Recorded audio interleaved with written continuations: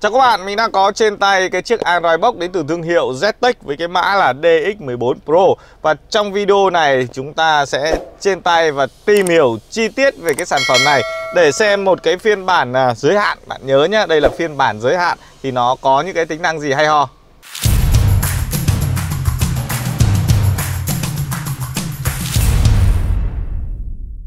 Đầu tiên thì à, về cái thiết kế của sản phẩm đi. DX14 à, Pro thì các bạn cũng thấy là nó có một cái kích thước à, nhỏ gọn này Thuận tiện như chúng ta có thể để vào những cái hộc để đồ ở phía trước Cái cần số hay là ở cái hộp bệ tỉ tay. Các cổng giao tiếp của chiếc DX14 thì chúng ta cũng có đầy đủ những cái khe cắm thẻ nhớ hay là khe cắm sim Kể cả những cái kết nối Bluetooth, GPS hay Wi-Fi rồi bây giờ thì mình sẽ tới cái ờ, phần cứng của chiếc DX14 Pro. Thì ờ, ở cái phiên bản này các bạn đang được trang bị một cái cấu hình có thể nói ở thời điểm hiện tại đang là cái cấu hình mạnh nhất ở Việt Nam.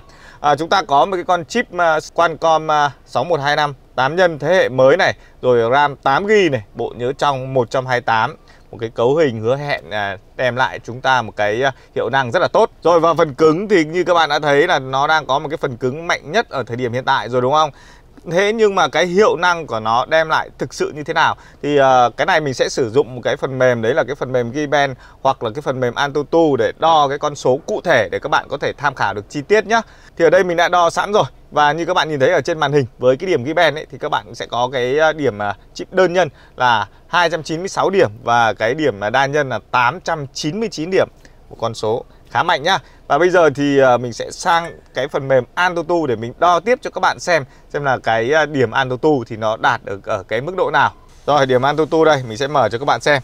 Rồi điểm tổng ở đây thì mình sẽ có là 196.545 điểm Một con số rất lớn đúng không? Bây giờ mình sẽ vào phần uh, chi tiết để xem cái điểm CPU hay là một số những cái điểm khác. Thì với cái điểm uh, CPU đây các bạn sẽ thấy là chúng ta có điểm CPU là được uh, 59.243 điểm. Và chính cái con số này nó đang à, đem lại cái hiệu năng rất là tốt cho chiếc DX14 Pro. Các bạn có thể trải nghiệm những cái ứng dụng nặng này, Hay là các bạn có thể chia màn hình chạy hai ứng dụng một cách mượt mà Mà không bị giật lag, Hay là dùng một lúc thì bị bắn ra ngoài hay là nóng quá, Như là các cái dòng Android Box bình dân rồi và tiếp đến thì chúng ta sẽ đi tìm hiểu về cái ờ, hệ điều hành của chiếc DX14 Pro.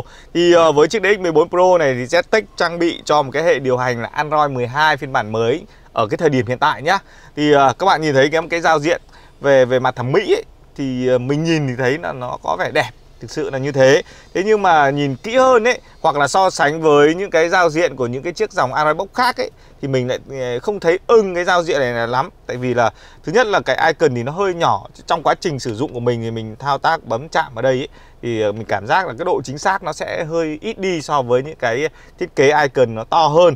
Và mình cảm giác nó hơi rối rắm. Thực sự là như vậy. Nếu như mà mình đã quen sử dụng với những cái giao diện của những cái chiếc ờ, Vietmap B19 hay là những T-Box Plus ấy, thì mình thấy cái giao diện nó trực quan hơn và nó cho một cái trải nghiệm tốt hơn so với cái giao diện này. Rồi ở cái giao diện chính này thì các bạn cũng nhìn thấy này. Ở phía dưới này thì chúng ta sẽ có cái phần à, multimedia Nghĩa là chúng ta giải trí nghe nhạc này.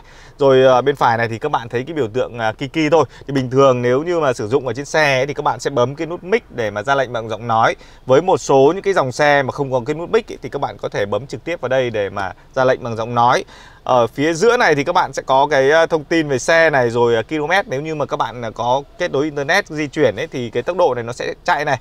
Ở phía bên phải này thì nó sẽ có cái phần dự báo thời tiết để cho chúng ta biết là nhiệt độ hiện tại bây giờ là bao nhiêu.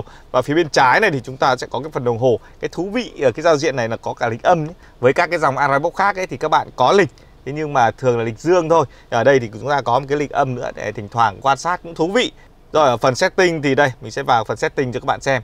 Thì nó cũng giống như là những cái dòng Android 12 khác thôi. Đấy, để chúng ta có thể điều chỉnh và thiết lập một số những cái tính năng ở đây. Thì mình cũng sẽ có một cái video hướng dẫn riêng về cái phần thiết lập để cho các bạn tham khảo. Rồi và đây mình sẽ kéo sang phía bên này. Ở đây thì các bạn thấy nó nó có một cái điểm là gì? Nó hiển thị được rất là nhiều những cái ứng dụng. Với một số những cái chiếc bóc khác ấy thì à, cái hiển thị các ứng dụng ấy nó ít lắm nên các bạn phải quét đi quét lại rất là nhiều. Còn cái này thì nó ở trong một cái khung hình luôn thế nhưng mà chính cái này cũng là một cái điểm yếu, tại vì là, vì à, nó để quá nhiều những cái ứng dụng và cái icon nó nhỏ lại như thế này thì thực ra là khi mà mình tìm kiếm nó khó khăn và việc mà mình chọn mình bấm chạm vào ấy thì nó làm cho mình nó hơi khó bấm một chút xíu. Đấy đấy là cái mà mình không ưng ở trên cái việc mà thiết kế quá nhiều những cái ứng dụng vào một cái khung hình như thế này. Ở trên Android TV Box ấy, thì cái này được nhé các bạn nhé. Ờ, cái thiết kế này thì rất là giống ở trên những cái dòng Android TV Box. Nhưng mà với cái Android TV Box ấy thì nó hiển thị ở trên những cái màn hình à, 32 inch 50 inch 60 inch cơ. Chứ còn ờ, trên ờ, ô tô này toàn màn hình 7 với 10 inch thôi thì việc ờ, có quá nhiều cái icon nhỏ như thế này khiến cho chúng ta hơi hoa mắt và khó điều khiển rồi và cái DX14 Pro này thì nó sẽ còn thêm cái hay nữa. Đấy chính là nó tích hợp sẵn một số những cái ứng dụng có bản quyền các bạn nhá. Ví dụ ở đây thì chúng ta sẽ có cái Navitel này hay là cái Vietmap S1 này có bản quyền luôn không giới hạn. Thì như vậy khi mà các bạn sử dụng uh, di chuyển ở trên đường ấy thì nó sẽ cảnh báo giao thông cho chúng ta rất là tốt. Mình hay quen sử dụng cái phần mềm dẫn đường của Vietmap thế nhưng mà hơi phí tại vì là kể ra mà tích hợp luôn cái S2 thì tốt tại vì thời điểm này thì mọi người dùng S2 là chính thôi. S1 thì mình cảm giác nó hơi cổ một chút thế nhưng mà nó cảnh báo giao thông thì vẫn là tốt. Ngoài ra thì chúng ta còn một số những cái ứng dụng khác ví dụ như là tra cứu tọa độ của xe hay là tra cứu về phạt nguội ấy, thì à, thực ra cái này thì ở Android Box nào cũng cài được thôi. Có việc là chỉ có là mình cài sẵn hay là mình cài thêm. Ví dụ như nếu như chưa có thì các bạn có thể vào cửa hàng à, Google Play Store để cài ra. Có rất là nhiều những cái ứng dụng à, hỗ trợ về cái tính năng này. Ok, như vậy thì mình đã trên tay xong cái chiếc ờ, DX14 Pro đến từ thương hiệu Ztech rồi. Và các bạn nếu như các bạn thấy cái sản phẩm này phù hợp với nhu cầu của mình thì các bạn có thể đặt mua nhé Mình sẽ để lại cái link mua hàng ở phía dưới phần mô tả của video này để cho các bạn tham khảo. Chắc chắn ở đấy sẽ có một cái mức giá cực kỳ cạnh tranh so với mặt bằng chung của thị trường ngày nay. Rồi, và video đến đây là kết thúc. Cảm ơn các bạn đã chú ý theo dõi. Xin chào và hẹn gặp lại.